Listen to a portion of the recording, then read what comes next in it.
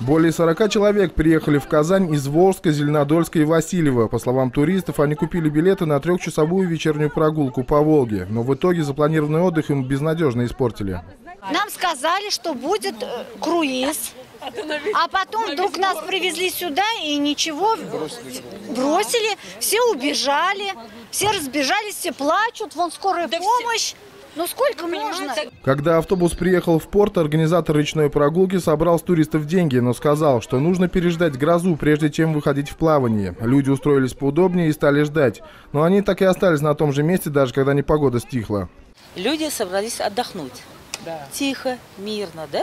А получится так, деньги взяли, билеты мы получили, да? Отнюдь. Вот сюда доехали, да? И нас быстренько, он вышел с автобуса и убежал. Собрав деньги предварительно. Конечно, да. Предварительно собрав деньги, как говорится, да? Ну, это уже, мне кажется, беспредел. Туристы провели в автобусе несколько часов. Люди отказались покидать автобус до тех пор, пока им не вернут деньги. Нам ночью никак в Зеленодольск не уехать ни на чем. И столько народу. Одного из организаторов путешествия туристы успели задержать и вызвали полицию. Но молодому человеку внезапно стало плохо с сердцем, и для него вызвали скорую. Но не отложку, разъяренные люди долго не выпускали с площади, опасаясь, что молодой человек скроется. Мы его везем на скорой помощи, сопровождаем, потом везем в отдел. Так как вы написали заявление. Вы сами понимаете, о чем говорите?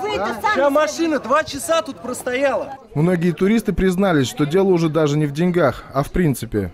У меня гости, потому что э, с Владимира есть, с Турции есть, и мне сейчас перед ними стыдно. Мурманска у Мне не жалко вот этих тысяч, там, которые я заплатила, да, мне, мне стыдно Обман, перед своими обман гостями, стыдно. В итоге было написано коллективное заявление в полицию. Насколько затянется тяжба между туристами и организаторами несостоявшейся речной прогулки, пока не ясно.